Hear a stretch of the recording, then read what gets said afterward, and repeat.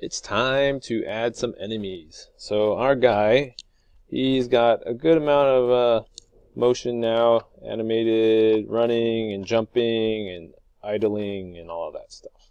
But he's lonely and there's nobody to interact with. So let's add an enemy for him. And why not start with a snail? Because everyone loves interacting with snails. So uh, to do that, we of course um, have our sprites all uh, in our folders. So let's access one of them through double clicking um, on the layout and getting a new object. And we're going to go to sprite. Okay, like I said before.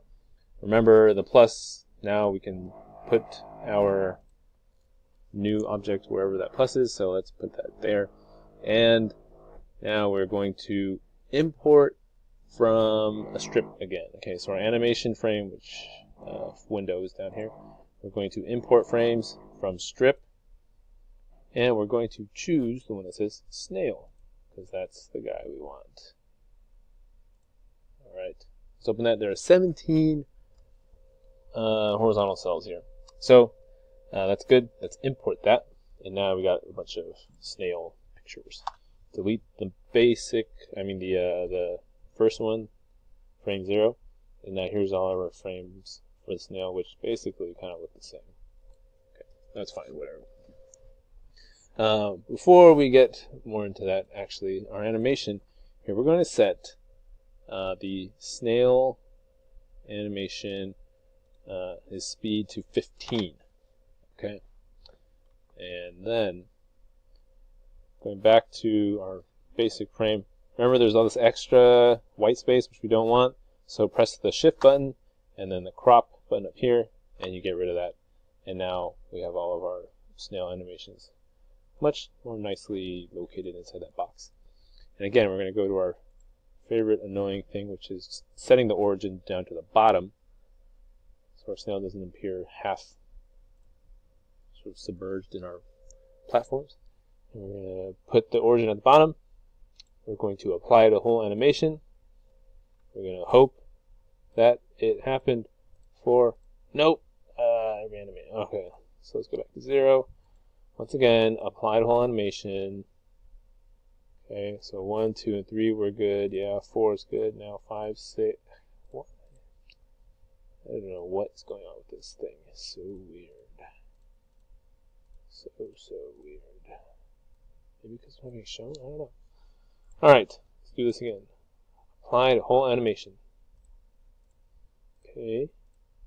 12, 13, 14, 15, 16 are done. 9, 8, 7, 6. Yes, good, finally. Alright.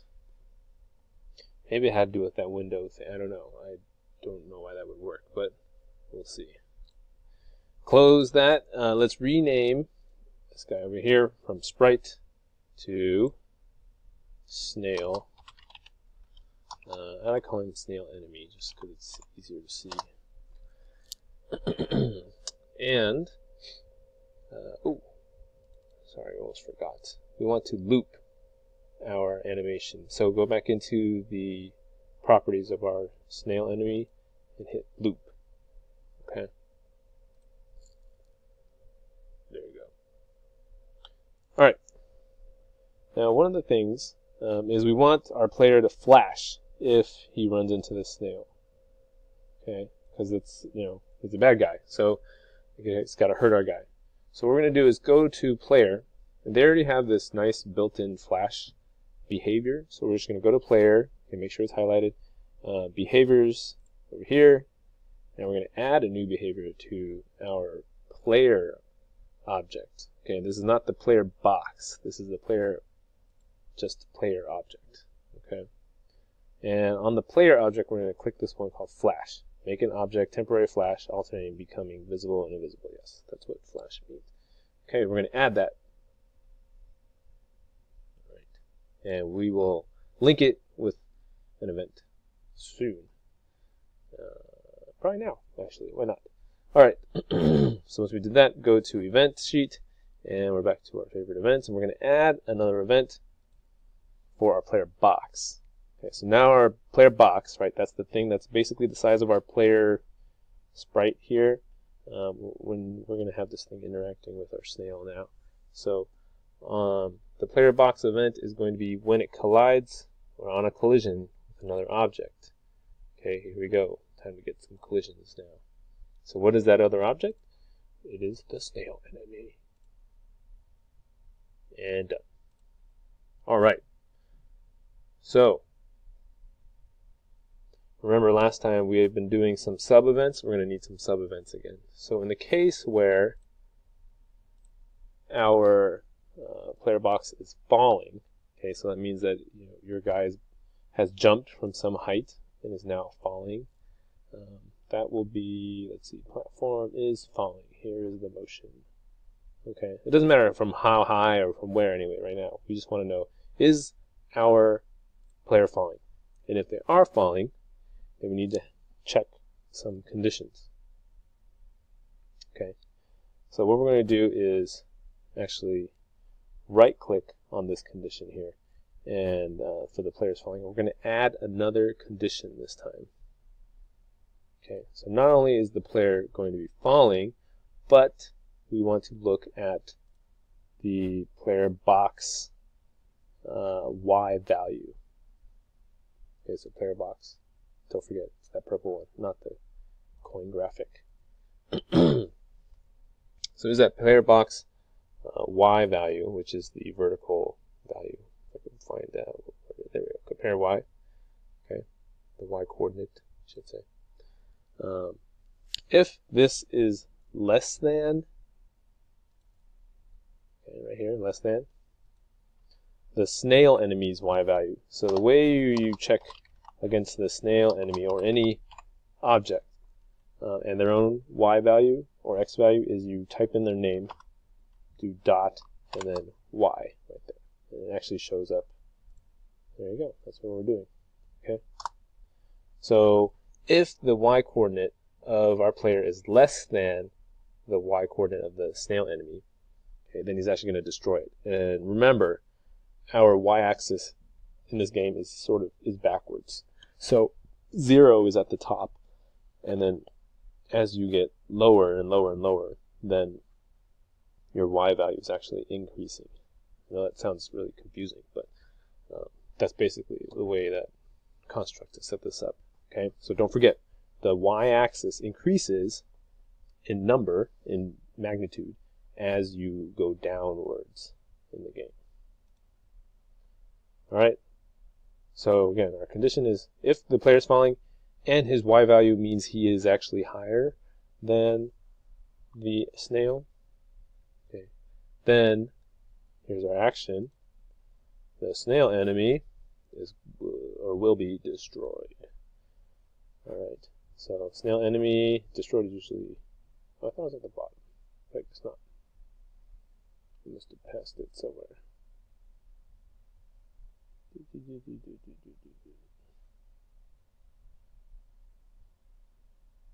Oh, there. I'm blind. Okay. Destroy the object. There we go. All right. Snail enemy is destroyed. Great. Okay, we're also actually going to add an action to give our player a little jump once they've jumped on top of the snail enemy.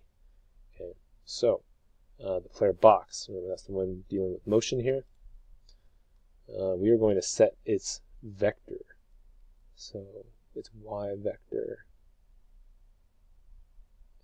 there we go. Set vector y. Okay, so that's its vertical motion. We're going to set it to negative 700.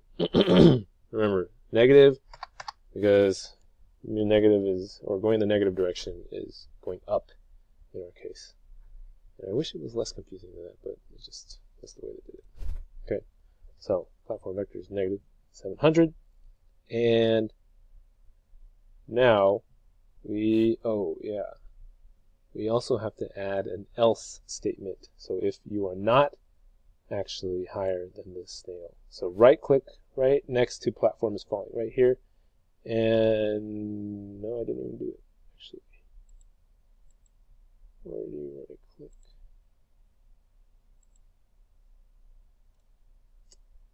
Is annoying. Uh, oh, there. No? Uh, add else? Is else here? Yes. Oh, okay, here we go. Okay, let me show you how to do that again, because I have to remind myself. So what you have to do is right click in the margin right here, okay, next to player box, and then go to add. We're going to add an else statement. So else is like, if none of these two things happens, then what is supposed to happen? Okay. So it'll come up with a system else statement. So uh, else is what we're doing, and the action that we're going to do is that the player, okay, player object is going to flash. So since we added that behavior before, now we have flash as one of our options for action. Okay, and here's our flash parameters. Uh, we're just going to keep it the way it is. That sounds good. All right, and done. Okay, and now uh, let's see. Uh, let's save. We did a whole bunch of work there, and let's save to see what happens. So we got our guy running. There's the snail, remember? And he runs into him. Ah, oh, flash, flash, flash. Ah. If he jumps on top, bam, he's dead. All right. Good work. We'll see you next time.